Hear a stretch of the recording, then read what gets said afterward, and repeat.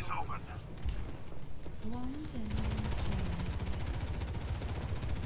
Gale the Mahal Let's get the payload going. No, you're a fucking Al Moira, you fucking gay cunt.